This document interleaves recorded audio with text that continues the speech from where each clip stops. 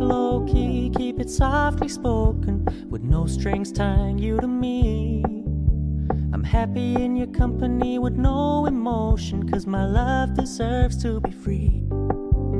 I never wanna look at a house in the garden, I never wanna lock you down.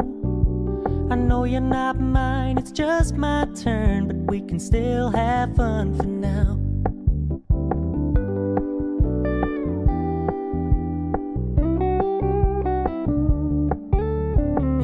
You don't really do commitment, trust me. Consider your message received. When you said you couldn't take us too seriously, I must admit I was relieved. Cause I never wanna play happy families with you, but I like having you around. I'm fully aware this is a flash in the pan, but we can still have fun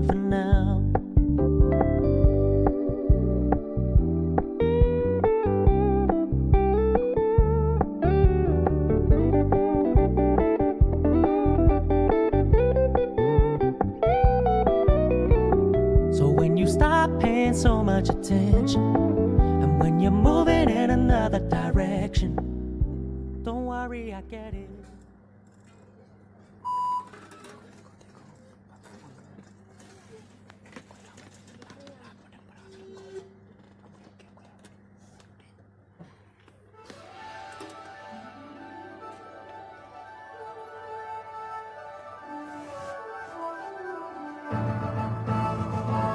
Indira Gandhi नक्षत्र शाला में आप सभी का हार्दिक अभिनंदन है।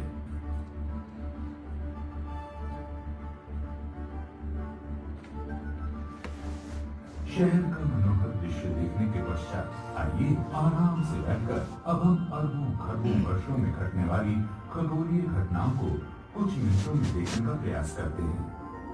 Sky theatre के मध्य में गोदो नक्षत्रशाला प्रोजेक्टर है। जिसके माध्यम से एक खगोलीय शो दिखाया जाएगा।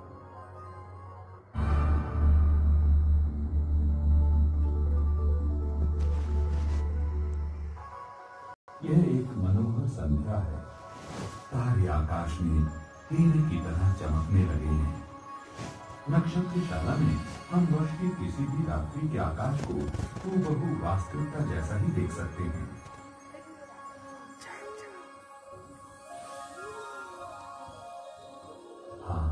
वो हमारा चंद्रमा है। हमारी पृथ्वी का एकमात्र प्राकृतिक उपग्रह हमारी पृथ्वी का सबसे करीबी ये आकाशीय पिंड हमसे तीन लाख चौरासी हज़ार किलोमीटर की दूरी पर है।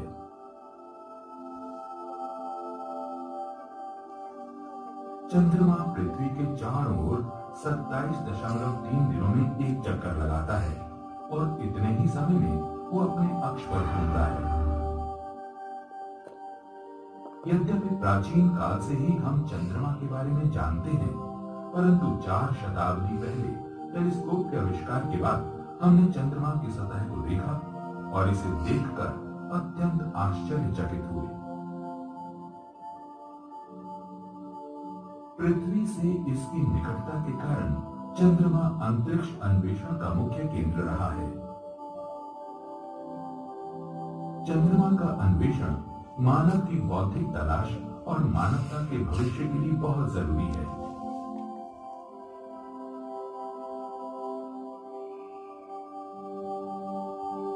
कई देशों और अंतर्राष्ट्रीय स्पेस एजेंसियों द्वारा चंद्र अन्वेषण कार्यक्रम हेतु अंतरिक्ष यान भेजे गए।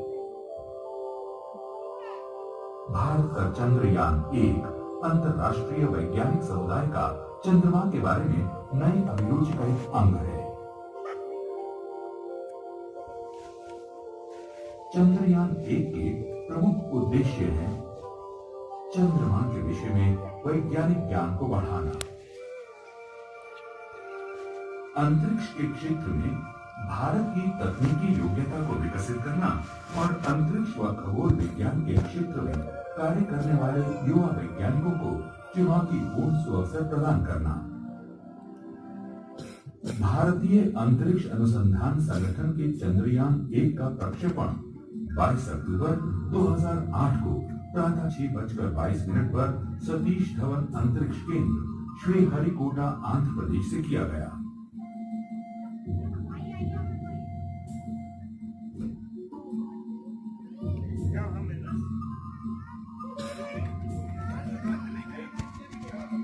चंद्रयान एक अपने उद्देश्यों की प्राप्ति के लिए ग्यारह वैज्ञानिक यंत्रों को अंतरिक्ष में ले गया है।